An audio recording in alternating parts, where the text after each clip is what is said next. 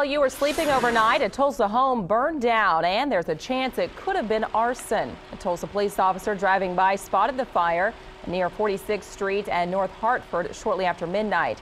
It was engulfed in flames, but firefighters arrived and quickly got it under control.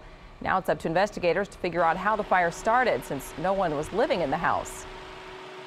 There's a large hole in the floor inside. Uh, so this time that'll be up to the investigators to determine whether that's a floor furnace that burned or whether there was an accelerant poured on the floor that burned or something to that effect. So. And firefighters are now trying to figure out if the utilities were on inside the house.